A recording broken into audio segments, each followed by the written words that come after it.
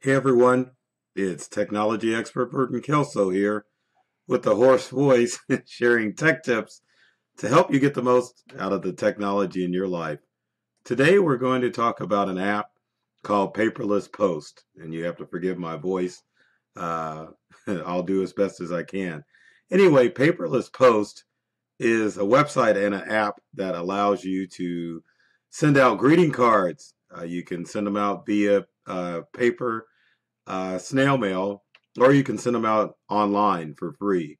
We're going to switch screens like we always do.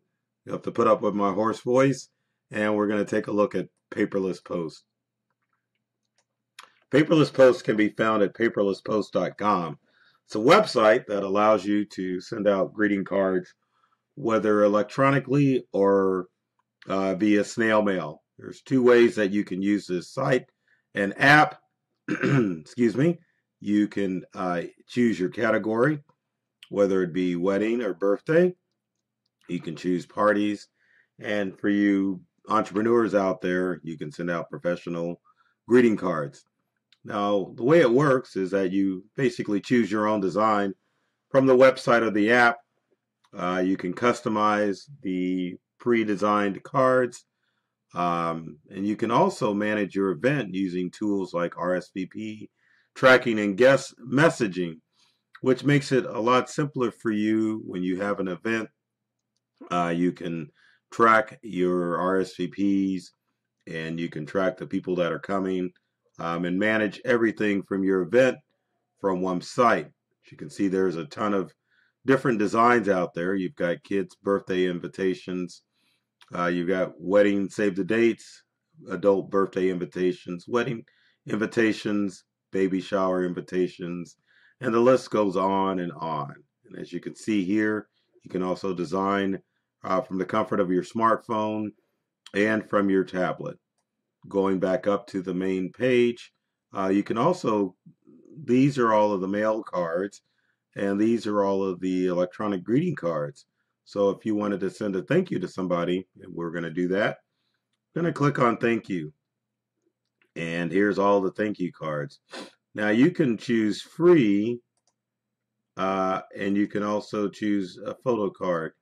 Or if you take those off, it gives you the electronic cards that cost um, money. Or if you just wanted to do a free e-card, you can definitely choose to filter uh, to filter out the free cards on the list. Uh, you choose your card by clicking on it. Once you click on a card, it tells you it's starting at free. Um, if it's not, it will let you know how much money you need to put in. Some of these greeting cards cost coins, as the phrase would be used in paperless posts. So if you were to hit uh, this thank you greeting card, uh, it's going to ask for two coins.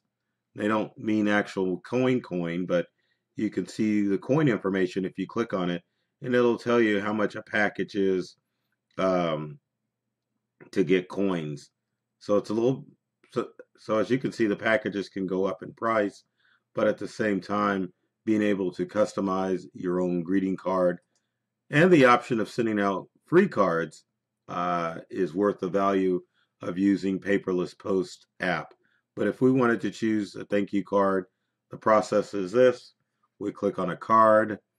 Uh, we can click on customize. Once we click on customize, we can go in, change all of the features of the card. Uh, the inside, you can change the text. You can also change the backdrop as well. We'll go to our next section.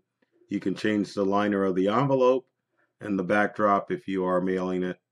And then envelope sample, your recipient's name can go here. You can do another message and we'll click on add recipients. And we'll do me and an email address.